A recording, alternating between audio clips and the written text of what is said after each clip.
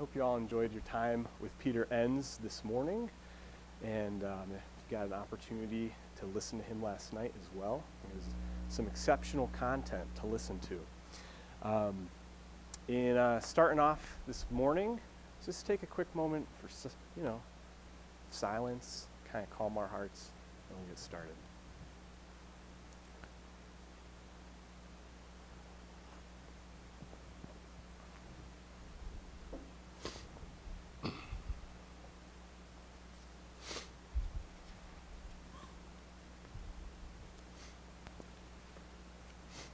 Okay. Well, I, I, do hope you all are enjoying your uh, focus day today. My name is Jeff Tabone. I'm the resident director at Ormston Hall. I have uh, been here, yeah, and Muffet Halls. Yeah, thanks, Janelle, for the reminder. I've been here for the last uh, eight years, and so when it comes to community, I've been involved with it for quite some time. Um, it's been my work. If you think about where were you in the last like eight years ago, that would have been January 2009. Cullen, where were you January 2009? Like high school, yeah. You know, I think Kono probably still had all four kids living in his home. That's how like long ago that was. Um, you know, I think Canyon was actually still in middle school. So like it, it was quite some time ago. So like the uh, farmers insurance policy, those commercials, they always say like, um, we know a thing or two about insurance because we've seen a thing or two about insurance. So I, that's kind of like what I'm going to say this morning is like, I, you know, I've learned a thing or two about community just because I've seen a thing or two uh, living in community. And we talk a lot about community, and today this talk is, like a lot of the other talks, incorporating risk and failure. So we're going to be talking about the risk of community. You guys may not be aware, but the mere fact that you are here part of this campus, part of this culture. You're part of a community. We define community at Spring Arbor usually in two ways. We talk about one, you're a community of learners, right? You guys are familiar with that. I hope you're all aware that you're in a community of learning. And uh, that's a huge, significant piece of what we do here.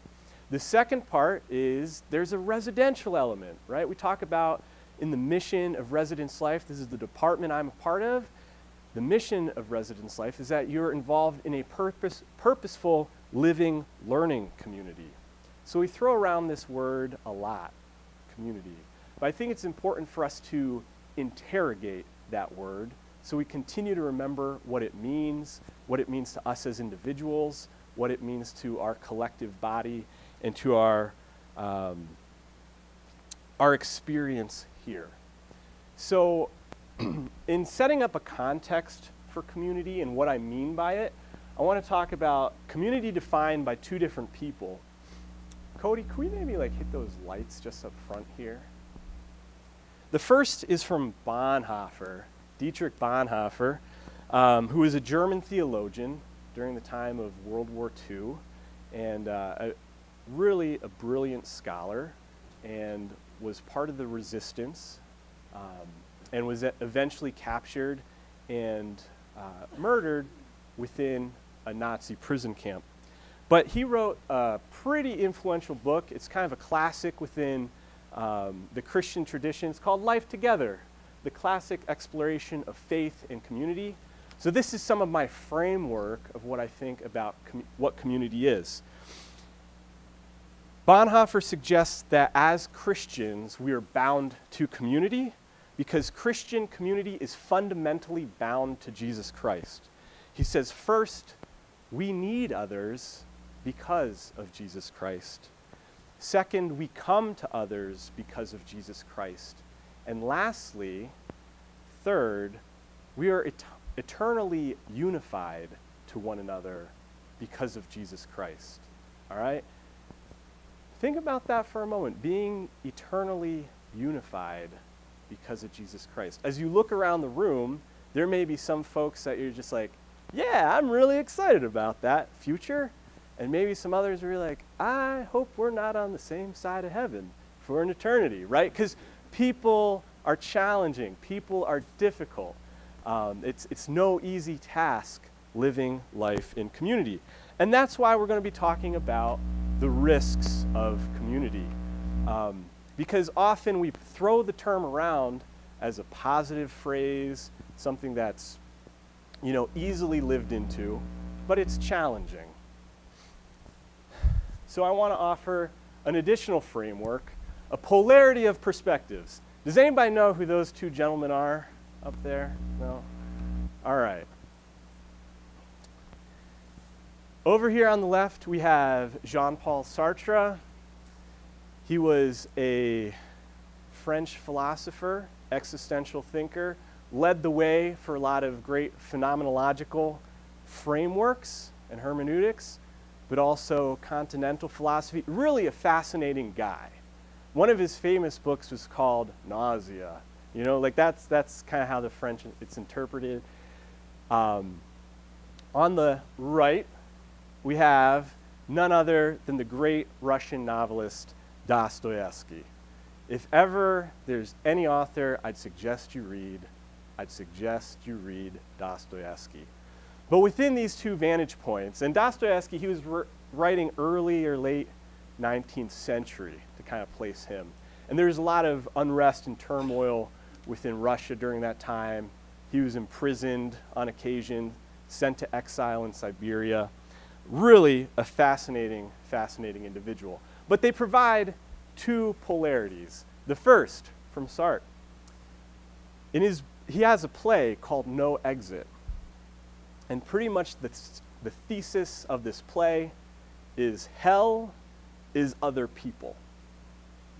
All right? Hell is other people. Think about that in the context of community. We'd all be doing a whole lot of suffering right now if hell was other people, because there's quite a few of us jammed in here. On the flip side of that narrative, on the other side of that polarity, is this quote from uh, Father Zosima in Dostoevsky's book, The Brothers Karamazov. And his reflection is, What is hell? This is, uh, this is it. Let me quote. What is hell? I maintain it is the suffering of being unable to love. Okay?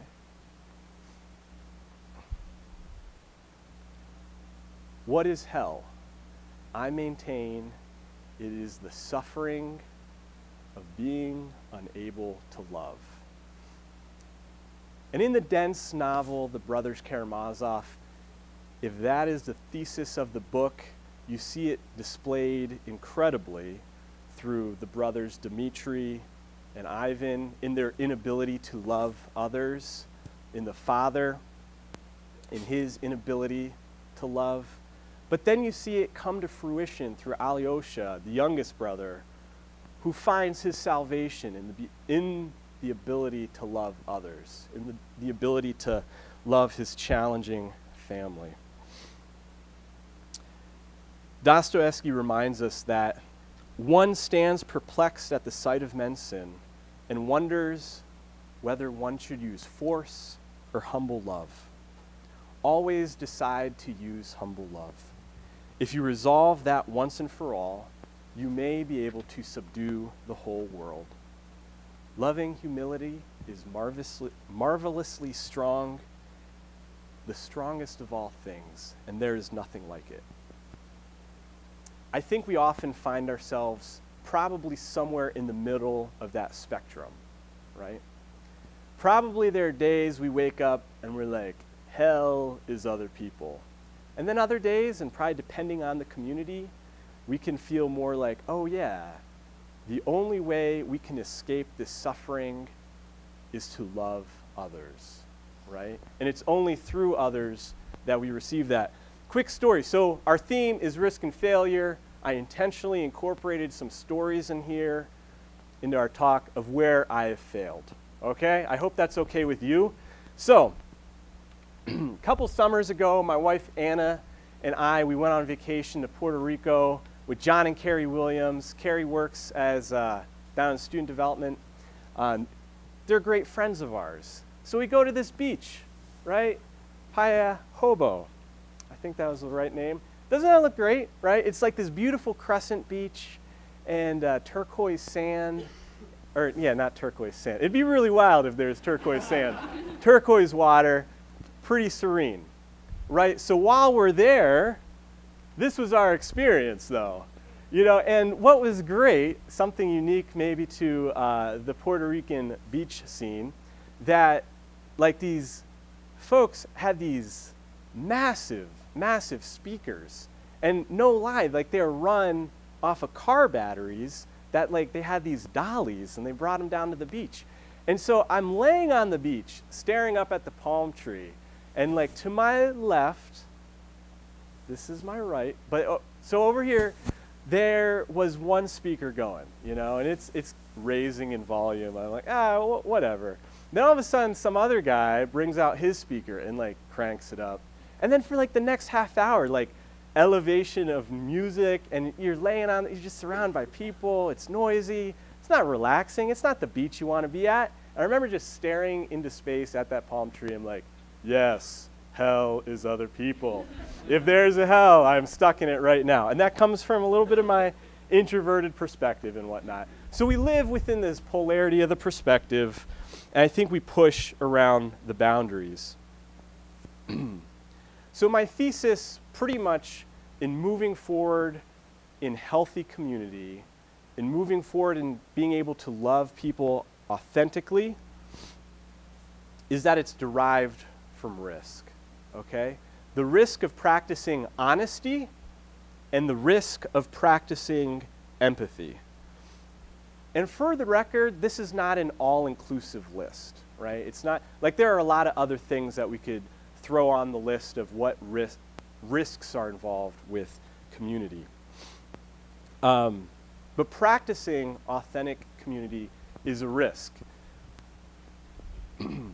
practicing authentic community always requires a leap of faith, which I'm going to need my friend Dr. Jones to demonstrate for us, right? If you're familiar with the story, Raider, no, this is the Last Crusade. He's going after um, the treasure, which I know what it's called. I'm blanking on it. But part, the Holy Grail, thank you part of it is he has to overcome this leap of faith. So we'll see. It's a quick clip.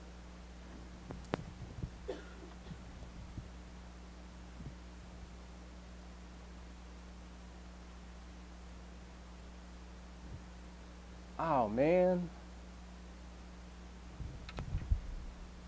We are limited on the sound here, guys.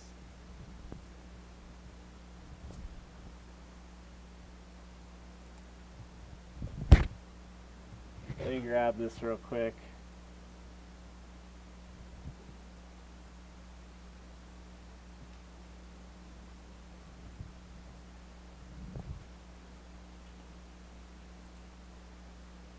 All right, for the sake of time, we'll watch this. I will narrate it. Okay, so Dr. Jones has to make this leap of faith across the chasm to get to the Holy Grail. Clearly, he is visually worried about it. Okay, his heart is pumping. There's nothing below him. Yet he steps out. What is he going to do? Steps out in faith into the blank abyss. Only that worked out. Okay? It worked out. And he is so relieved it worked out. And as it looks, I love this panorama. There's actually a bridge right there. So he really wasn't stepping into nothing, but there's actually the leap of faith he steps on to something more solid and eventually gets him across to the Holy Grail. But sadly, the Nazis also chase him across there, and it gets messy. um, let me return to this. There you go. Risk requires a leap of faith. and we're cautious about risks, right? Sometimes it's because we've been burned too many times. And so we want to play it safe. I think we've all been there where we've been vulnerable, we've been open, we shared our opinions, our perspective with others, and we've been burned. And so I think sometimes it causes us to put up walls in order for that not to happen again. But to practice authentic community, in order to practice moving forward in community, we got to practice the risk of honesty and the risk of empathy. So, the risk of honesty, I want to share this story with you. And this is actually something that was actually pretty transformative. Comes from my freshman year of college with my friend Jesse Meekins. Well, he, he was more of an acquaintance at this time. And we were playing racquetball. If I could wave, for what it's worth, if I could wave a magic wand over Spring Arbor and change one thing, we'd have racquetball courts. I don't know. It's, it's a great sport, great game. Anyways, Jesse and I were playing racquetball. After about an hour playing or whatnot, Jesse was like, we finished a game. He's like, do you want to play another game? And like most indifferent adolescent males, I was like, ah, whatever whatever you want. But Jesse wasn't satisfied with that answer. He's like, no, Jeff, like, do you or do you not want to play another game? I said, no, whatever. It's okay. Like, what do you want to do? He's like, Jeff, no, I asked you a question. And, like, I don't know why I remember this so well. We're standing in this corridor, dimly lit, right outside of a racquetball court. It smells like sweat, but he's just like, Jeff, all through high school, now remember, this is like fall semester freshman year. He's like, all through high school, my friends never gave me their opinions. They never let me know where they stood. Let's resolve to not do that to one another. So from here on out, we are going to be honest with one another. So do you or do you not want to play racquetball? I said, honestly, I don't. He's like, thank you. He's like, why would I want you to play another game of racquetball if you didn't want to play racquetball? He's like, you don't need to worry about it. Just be honest with me. That fundamentally altered the friendship with Jesse in a positive way. Okay, some of your friends that may fundamentally alter it in a negative way. But with Jesse, it fundamentally altered it in a positive way because I knew I could trust him. I knew that whatever my response was going to be to him, I could trust it because he demonstrated a particular trust in stepping out in faith, in taking the risk, so to say, in saying, like, hey, what do you really think about this? Because it kind of puts our defenses down because we can't kind of argue from ambiguity. It also means, like, we actually care about what's going on. And I think we often avoid being honest because we want to suspend our judgments or our opinions. Because honestly, we don't want to be disappointed by the outcomes, right? It's a risk if we put ourselves out there and then it doesn't play in our favor, right? Because what if I was like, no, Jesse, I don't want to play another game? And you'd be like, too bad, we're playing another game. That probably also would have fundamentally altered the friendship. How many of you, though, think about this, think with me, Friday night, Spring Arbor, you and your friends, you all hop into a car, and then you get stuck in that like hellish space of like two hours where you're just like circul- circling Jackson, deciding where to go to eat, right? Just like, where do you want to go to eat? Uh, I don't know. Applebee's. Oh, you kind of, you, you kind of like balked at that. Maybe let's go to Jimmy John's. Oh, wherever is fine. Oh, do you not want to go to Jimmy John's? Let's go downtown. You know, like, you guys know what I'm talking about, right? Have you been stuck there? Okay, how about, thank you, thank you, Baylor. How about Netflix? Okay, how many, after dinner, you get back and you sit down with Netflix and you're like, what do you guys want to watch? And then all of a sudden, you probably could have worked through two movies, or at least the whole season of Stranger Things, by the time you get to a decision but by the time you finally resolve. I think moments like that, not that they're bad, we're not, I'm not trying to polarize things like this, but I think it's inauthentic expressions of community. And I want to encourage you to take that leap of faith, right? Like Dr. Jones, your heart may be beating a little bit. You may be a little worried taking that step out there because, like, I know I really want to go to whatever. Or I know I really want to watch this thing. Or I know I really want to share my vantage point, share my perspective, share my opinion. Whatever it is you want to be honest about, there's always that point of time where you have your foot over the chasm and you do not know where you're going to fall. You do not know where you're going to land. Similar to Alice in Wonderland, right? The rabbit hole. You're really unsure when Alice falls in there how this is all going to turn out. It's the leap of faith, it takes a risk. Being honest with one another takes a risk. so, practically speaking, this is what I want you to do. So, just partner up with somebody and or two or three people and talk amongst yourself. Just say like, was there ever a time you were honest with somebody? How did that work out? Or was there ever a time somebody was honest with you? What did that look like? You know, how, how are things resolved? Okay? So go for it. I'll give you like two minutes. Just buddy up. Talk about honesty.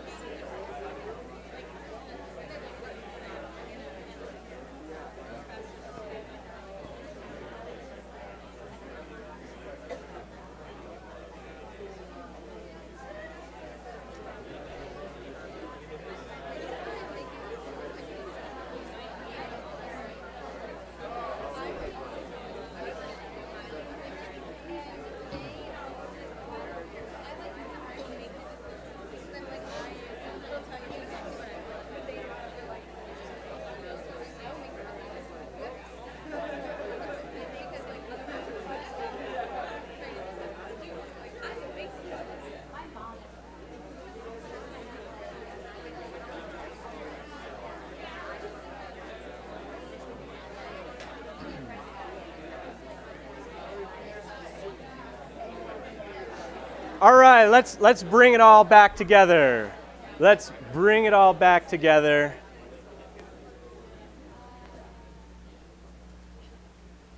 Everybody seemed pretty engaged in the conversation. So I assume all of you had had an opportunity to practice honesty or be the receiver of honesty, right? Would anybody care to share their experience um, of just maybe how like honesty positively impacted Baylor?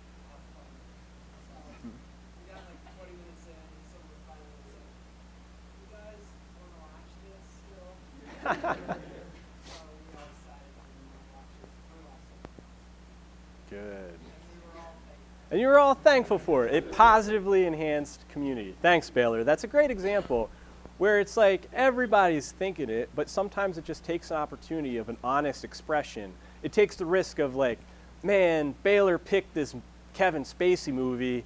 I know he really likes Kevin Spacey.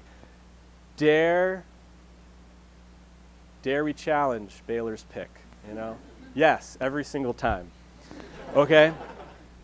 Really, in practicing honesty, the only way to continue to move forward with that, I think, is practice it. You know, we gotta, we gotta continue to grow in our confidence. And I would encourage you, you know, we're all at different seasons of life. Uh, we all come to it with, you know, different scenarios, with different perspectives. But I encourage you, grow in your confidence. Try little things where, like, the risk isn't that big. You know, so little things like vocalizing what you'd like to do on a weeknight or weekend, that's a pretty small risk.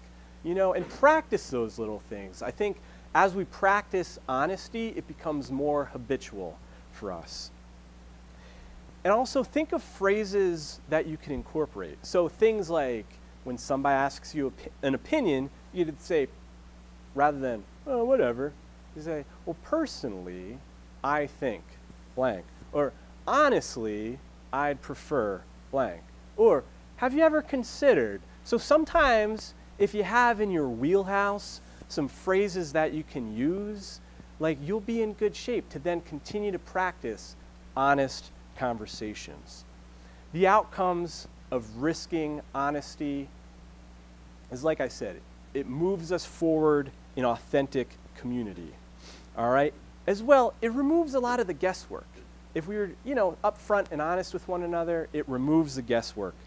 Lastly, it helps our expectation management, right? I'm sure if you've been around here long enough, you've either, you've either heard Capico or Paul Patton talking about managing your expectations, right? Because unmet expectations leads to resentment, and resentment leads to contempt for the other, right? Am I right? Yeah.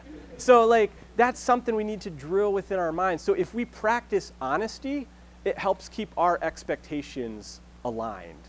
Because if we're kind of dishonest with ourselves, if we're, you know, indifferent a lot of times, um, it's going to end up, you know, we'll start harboring some unmet expectations. Does that make sense? Okay.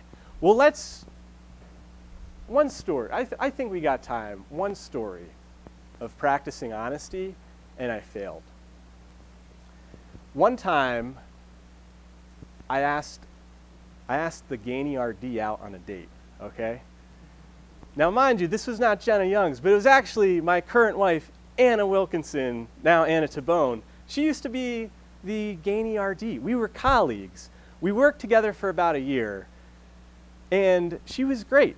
And so I summed up the courage, and one opportunity, and granted, we had been developing a friendship and whatnot, and so I asked, I took the leap of faith, you know, and I think I was more scared than Dr. Jones over that chasm, but I said, hey, would it be okay if I was more intentional in getting to know you, right? Most non-committal, like asking a girl out as possible.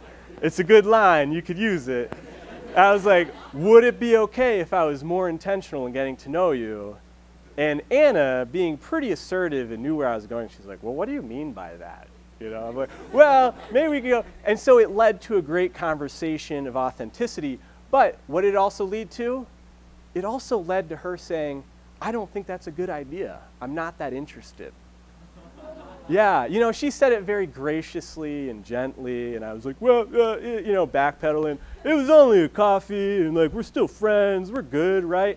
You know, but it took her uh, also as well the risk of being honest and being okay, being upfront with me.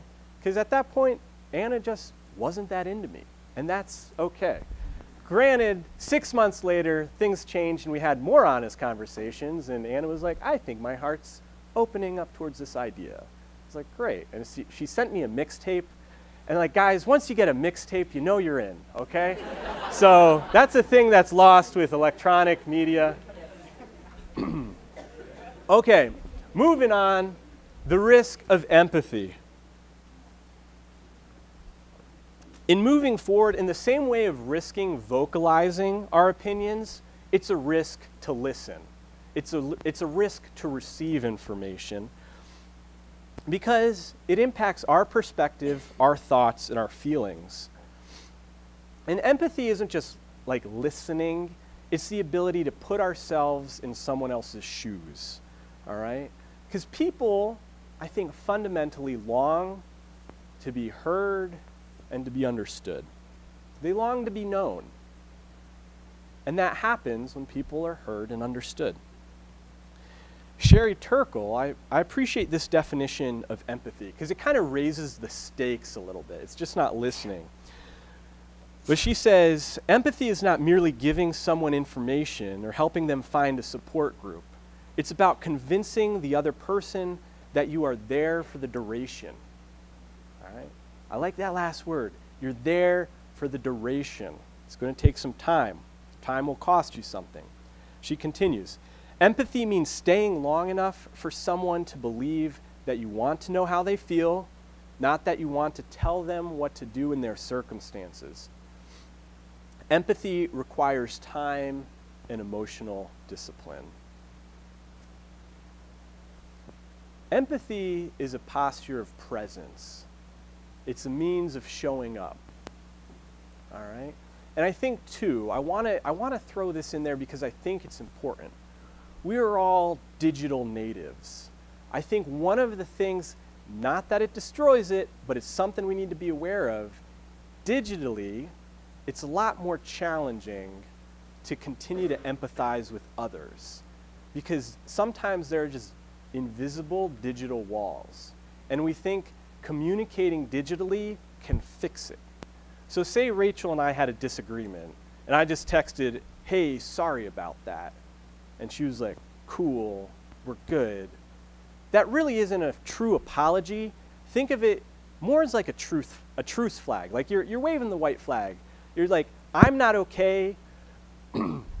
Excuse me here.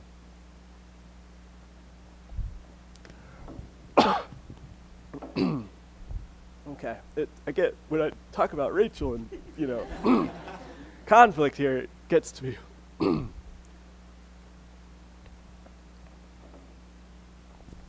so sometimes it's like I'm not okay not being okay with you, but I want to feel okay, so I'm just going to communicate that rather than taking the responsibility and seeing Rachel face to face and then dealing with how she feels about it.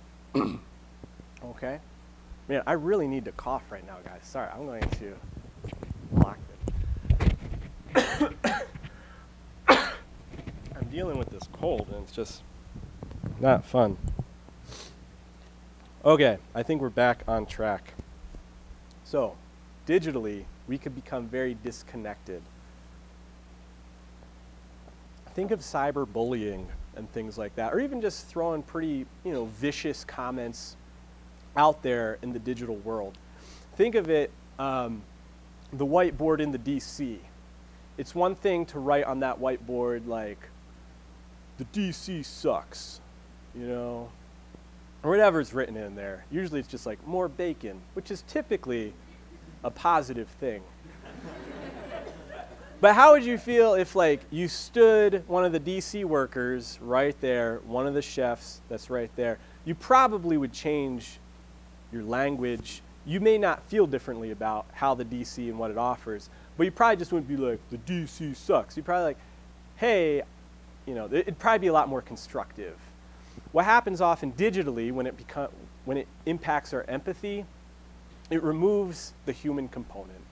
So that's just something I found it's important to recognize, especially as we're talking about taking that risk. You want to, in taking the risk of empathy, remember, the leap of faith, you want to be doing things face to face. And I think that's just becoming increasingly harder. In reaching out, Bonhoeffer talks about the ministry of listening, which I want to read you a quote. Because I think this is really what sums up empathic, the risk of empathy.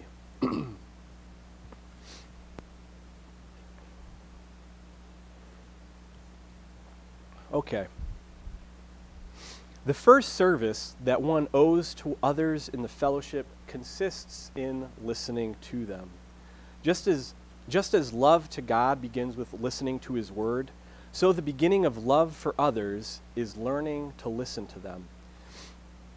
It's, it is God's love for us that He not only gives us His Word, but He also lends us His ear. So it is His work, what we do for our brothers, when we learn to listen to Him. Christians, especially ministers, often think they always must contribute something when they're in the company of others, but that is one service they can render.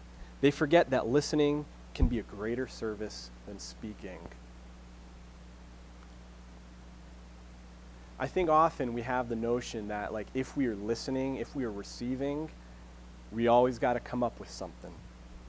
Bonhoeffer reminds us that, much in the same way that we listen to God and His Word, and that's a way to express our love for Him, listening to others is a means of expressing our love to them.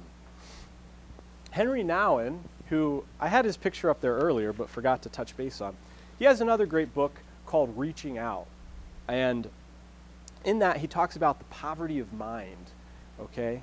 And so he suggests that empathy transpires when we have a poverty of mind. And this is a quote. He says, Someone who is filled with ideas, concepts, opinions, and convictions cannot be a good host. There is no inner space to listen, no openness to discover the gift of the other. In reaching out, Nouwen does a great job of providing us with this like polarity of moving from hostility to hospitality. Right? Think of it in the way between hell is other people to hell is not being able to love other people. Hostility to hospitality.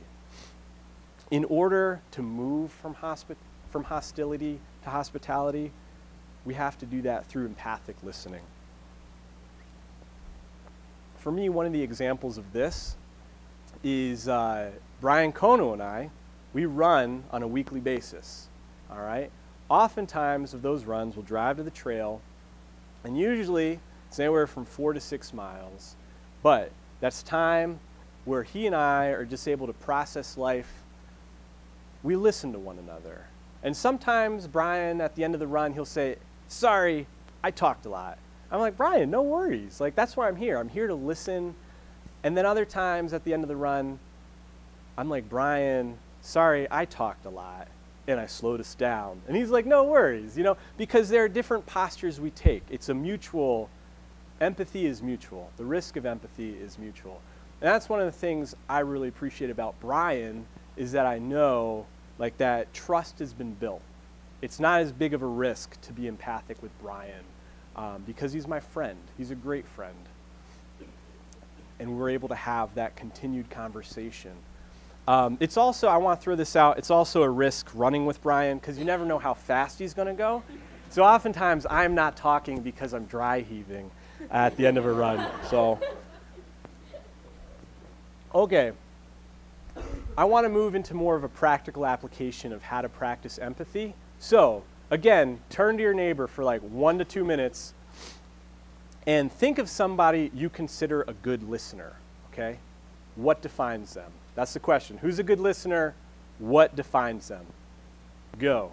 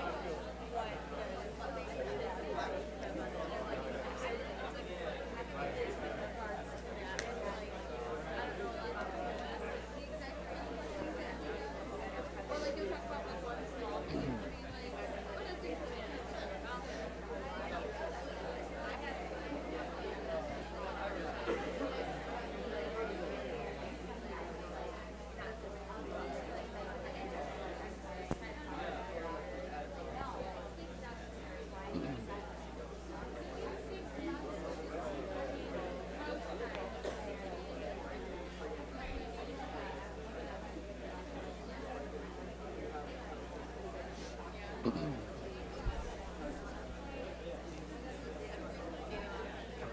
All right, let's let's bring it back. Again, looked like there's a lot of good, engaged conversations. I think that means people are listening to one another. Good job.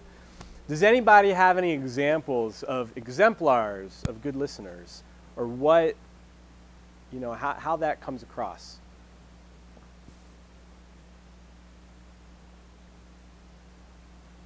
I guess you all were listening so well. Nice, nice work. Sam, what was your uh, example? Uh, I actually said my freshman high school.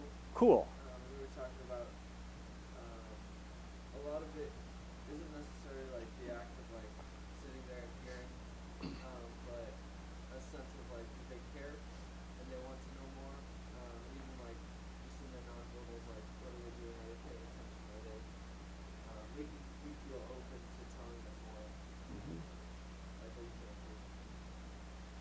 Yeah, thank, thanks for sharing that. Thanks for letting me call on that. Take the risk, calling on Sam. You took a risk, you answered. Thank you. Um, I appreciate what Sam said, like talking about the nonverbals, right? And it's there, like the presence of the individual communicates a particular care, concern. So as you practice good listening, as you practice taking the risk of empathy, think about these following things. One, practice good nonverbals. Think about that, like how you're coming across. So one thing I appreciate is the Dan Vanderhill head nod. You know, like when Dan Vanderhill's nodding his head, you know, like you know he's tracking with you and you know he's listening to you. Um, the other part is don't immediately give answers. Empathy isn't a matter of fixing people, or it's not necessarily even speaking anything to them, but it's a matter of listening and hearing in order for people to feel heard. A good line, so again, like I mentioned, it's good to have some lines in your wheelhouse. So when you're thinking about this, you could practice it easily. One great question that will lead to further empathy is just like, huh, can you say more about that? Rather than, oh, well, I had this experience and let me tell you what, you know, Baylor really likes Kevin Spacey. You know? No, but try these things of like, hey, can you say more about that? Or, wow, that sounds really difficult. I can't even imagine.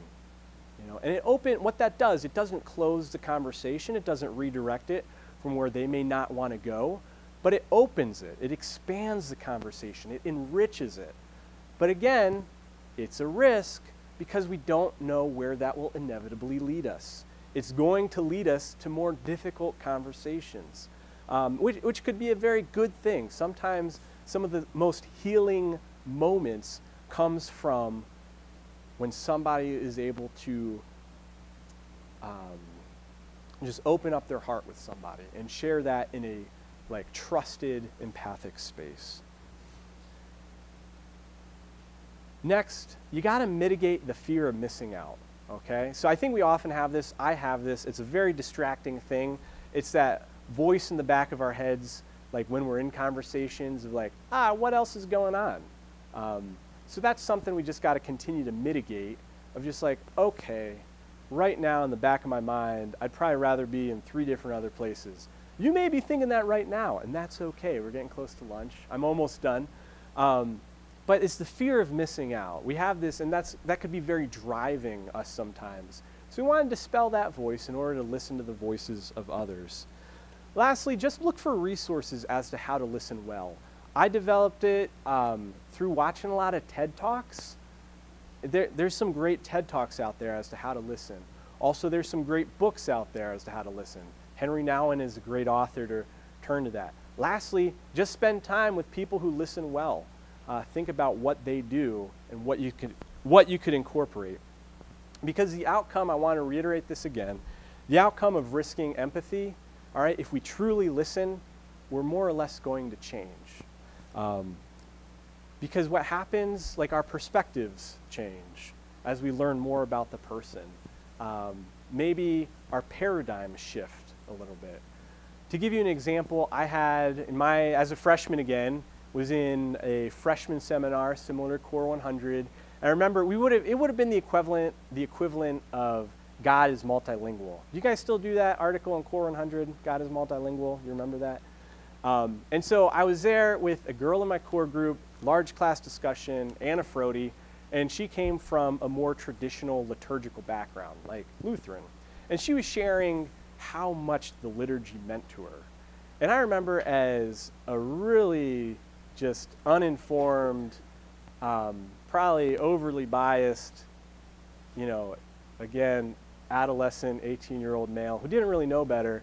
Just, I was like, ah, Anna, like, I really don't see the value of something that's just repetitive like that. You know, you're just getting up there saying words, you know, and really just challenging her opinion. And what was great, like, Anna did a great job in responding. She's like, well, Jeff, what's, there's any difference to your contemporary worship service where you just like repeat the same lines of a song over and over again, you know? I'm like, oh, yeah. You know, so thankfully, that was quite a few years ago, and I have since grown to love and extremely, extremely value the liturgical setting. That's kind of where I find it to be home for me in my expression of worship. I had to get there through listening to Anna Frody. I couldn't just receive her comment about the repetitive nature of the contemporary worship service um, and just dismiss it. I had to listen to it. And that brought me to change my perspective. So, in conclusion, if you remember anything, just remember the risk of honesty, the risk of empathy, it draws us to a more authentic community. Bonhoeffer reminds us that community is actually a means of grace. Let me find this page here. I want to read this quote for you. All right?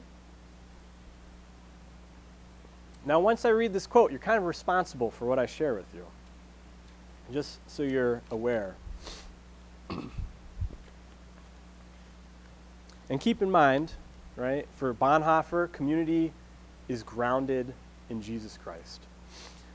So he says here, it is easily forgotten that the fellowship of Christian brethren is a gift of grace, a gift of the kingdom of God that any day may be taken away from us and the time that still separates us from utter loneliness may be brief indeed. Here's the important part. Therefore, let him who until now has had the privilege of living in common Christian life with other Christians praise God's grace from the bottom of his heart. Let him thank God on his knees and declare, It is grace, nothing but grace, that we are allowed to live in community with Christian brothers. All right? We often take it for granted that we live in community. We often take it for granted we're a part of a community of learners. We take it for granted we live in a purposeful living learning community residentially here at Spring Arbor, you know, with your peers, with the faculty, with the staff. Bonhoeffer reminds us that's a means of grace. And I think for me, it was a great reminder and challenging of how often am I on my knees giving God, just expressing my thankfulness for having the ability to do life and share life with those around me, especially in the context of Christian community, where risk of community, we can trust it because we know our community is bound, bounded in Christ. And when we risk practicing honesty, we know there's grace to be received if it doesn't go well or when we risk practicing empathy, there's grace for who we turn out to be in receiving that.